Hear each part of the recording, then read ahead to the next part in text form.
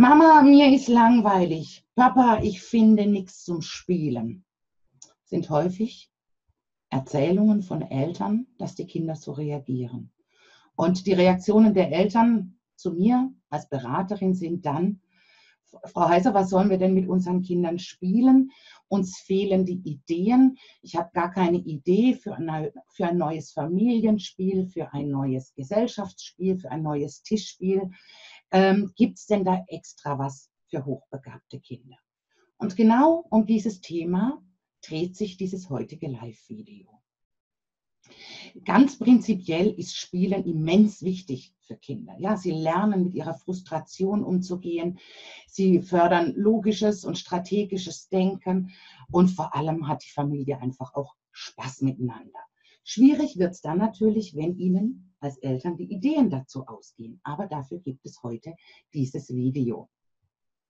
Ja, also bei Hochbegabten, bei unterforderten Kindergarten- und Grundschulkindern achten Sie darauf, dass die Spiele, die Sie auswählen, über dem eigentlichen Alter Ihrer Kinder liegen. Also als Beispiel, Ihr Kind ist fünf Jahre alt, dann suchen Sie ein Spiel aus äh, oder eine Beschäftigung, auf der steht für Kinder ab sechs oder ab sieben oder ab acht Jahren. Ja? Also orientieren Sie sich nicht an diesen Altersangaben, die sind eben für durchschnittlich begabte Kinder gedacht. Und jetzt nehmen wir einfach mal ein ganz bekanntes Kindergartenspiel. Das habe ich schon vor 25 Jahren auch schon im Kindergarten mit den Kindern gespielt. Tempo kleine Schnecke. Ich habe vorhin nachgeschaut, es wird empfohlen für Kinder ab drei Jahren. Da geht es darum, Farben zu lernen. Ja? Äh, rosa von Rot zu unterscheiden. Ähm, und jetzt haben Sie ein vermutlich hochbegabtes, ein ziemlich cleveres Kind mit drei Jahren, das schon mit zwei Jahren hellblau von dunkelblau von türkis unterscheiden konnte. Für dieses, für dieses Kind ist dieses Spiel natürlich nicht geeignet, weil es hat ja einen, ein anderes Ziel. Es geht darum, Farben zu lernen. Und wenn das Kind die Farben schon kennt, dann ist Tempo kleine Schnecke für ihr Kind vielleicht nicht das Richtige, sondern es braucht eher ein Spiel, was normalerweise für fünf- oder für sechsjährige Kinder gedacht ist. Auch bei der Auswahl der geeigneten Familienspiele bin ich ein großer Freund davon, dass die Spiele die Kinder über längere Zeit auch begleiten. Ich kann mich noch sehr gut daran erinnern, welche Spiele mit mir vor 40, vor 35 Jahren gespielt wurden. Und wenn ich die heute noch irgendwo im Regal meiner Eltern sehe oder in anderen Spieleschränken, dann hat das etwas sehr Heimeliges und was sehr wohl, Wohltuendes auch für mich. Also Spiele sollen Familien auch über längere Zeit begleiten. Und deswegen ist es wichtig, dass Sie bei der Auswahl natürlich darauf achten, dass Sie keine sogenannten Junior- oder Kinderversionen kaufen. Also nur als Beispiel, damit Sie das äh, verstehen können. Vom regulären Elfer Kartenspiel gibt es eine Junior-Version. Wir haben die auch zu Hause. Wir spielen nach wie vor auch noch Elfer miteinander. Aber ähm, um zu verdeutlichen, ja, diese Junior- oder Kinderversion verwirrt die Kinder zusätzlich. An, anstelle oder äh, neben der Zahl 11 ist auf diesem Spiel bei der 11 auch immer noch ein Delfin abgebildet. Ein Delfin, nicht elf Delfine. Bei der 12 ist es der Bär. Nicht, ein, nicht zwölf Bären, sondern ein Bär. Ich verstehe den Sinn hinter dieser Kinder- oder Junior-Version gar nicht.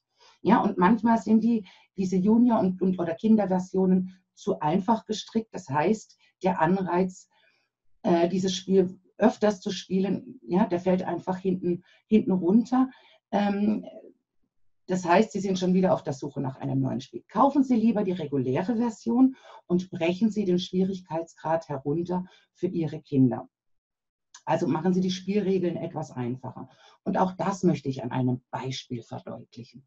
Nehmen wir das Spiel Sagaland. War in den 80er Jahren, ich glaube in den 80er Jahren Spiel des Jahres kenne ich als Kind, meine Kinder kennen das als jüngere Kinder, ähm, ist regulär angegeben für Kinder ab, und jetzt, ich habe es mir auch notiert, ab sechs bis sieben Jahren. Ich kann mich aber erinnern, zu meiner aktiven Kindergartenzeit haben wir das auch schon mit Vierjährigen gespielt. Und wenn, ja, also die Kurz, Kurzfassung dieses Spieles ist, ähm, es gibt ein Spielbrett mit ähm, mit Tannenbäumchen. Wenn man diesen Tannenbaum umdreht, ist ein ähm, Märchensymbol abgebildet, wie zum Beispiel die goldene Gans. Und es gibt ein Schloss und da liegt, liegen Karten. Und alle Kinder müssen jetzt zum Beispiel oder alle Mitspieler müssen die goldene Gans finden. Und wenn man die goldene Gans gefunden hat, also das Bäumchen mit der goldenen Gans, dann muss man das Bäumchen wieder hinstellen und muss erst zum Schloss fahren und dann darf man sagen, hier stand die goldene Gans. Wenn Sie das mit einem vier- oder fünfjährigen Kind spielen, das seine Gesichtsmuskeln noch nicht unter Kontrolle hat, dann wird sich dieses Kind erst, ja, das wird den Baum umdrehen, wird die goldene Gans er erkennen, wird sich freuen wird dann wieder ganz schuldbewusst den Baum hinstellen und dann versuchen, zum, ähm, zum Schloss zu fahren.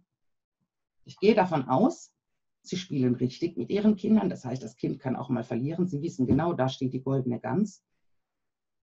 Ja, dann ist das einfacher in diesem Alter, bis die Kinder lernen zu blöffen, ihre Gesichtsmuskeln unter Kontrolle zu halten, dass sie einfach sagen, okay, wer, die Karte, wer, wer den Baum mit der goldenen Gans findet, der bekommt die goldene Gans und muss nicht erst zum Schloss fahren. Äh, das Spiel anpassen können sie später und dann eben ja richtig zocken und wer zuerst beim Schloss ist, der bekommt eben das Bäumchen mit der goldenen Gans. So gibt es verschiedene Varianten, dass sie die Spielregeln für die Kinder einfach etwas nach unten auch anpassen können. Mein Beispiel von Sagerland. Ja, also vereinfachen, so dass die Kinder einfach auch die Chance haben, richtig äh, ja auch zu gewinnen. Ganz prinzipiell rate ich Eltern immer, gehen Sie in die nächstgelegene Bibliothek, leihen Sie sich Spiele aus, probieren Sie diese zu Hause aus, gefällt es Ihnen, gefällt es Ihrem Kind ähm, und dann wäre das vielleicht etwas, was zum Beispiel auf den Wunschzettel für Nikolaus oder auch für Weihnachten wandern kann. Erstmal ausprobieren, weil ich kenne viele Familien, die haben Schränke voll Spiele, die nicht gespielt werden.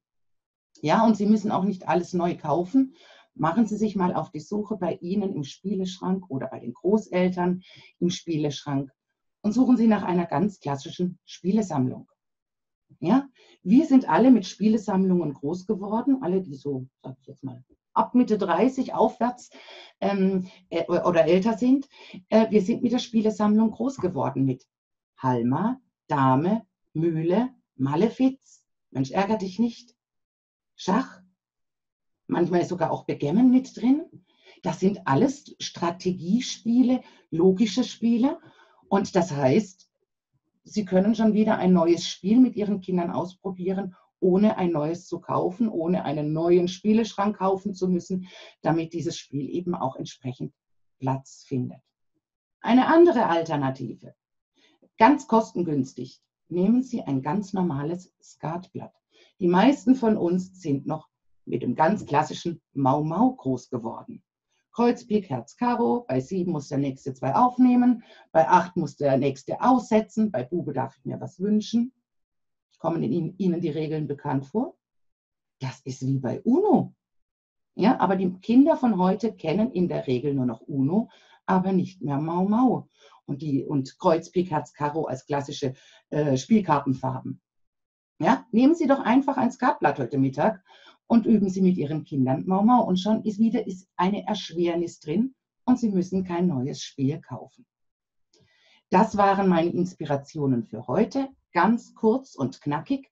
Wenn Sie auf der Suche sind nach weiteren Spielideen, Tischspiele, Gesellschaftsspiele, Regelspiele, dann lade ich Sie ein auf meine Homepage danielaheiser.de slash Empfehlungen. Da habe ich einige Spiele aufgenommen Gerne dürfen Sie natürlich auch Ihr Lieblingsspiel unterhalb dieses Videos kommentieren. Dann können die anderen Familien auch davon profitieren. Und ich wünsche Ihnen viel Spaß beim Stöbern, beim Ausprobieren. Und vielleicht wandert ja die ein oder andere Spielidee auch auf den Wunschzettel Ihrer Kinder. Nächste Woche bin ich wieder live hier und da werde ich ganz praktisch meinen Raum hier verlassen und Ihnen ein paar Spiele vorstellen, ähm, ganz einfach, weil hier kann ich keine Spiele vorstellen, weil ich die Kamera nicht nach unten nehmen kann. Aber im nächsten Video erhalten Sie ein paar Spielevorschläge für Sie, für Ihr Kind, für Ihre Familie. Ich wünsche Ihnen einen tollen Nachmittag und bis zum nächsten Mal.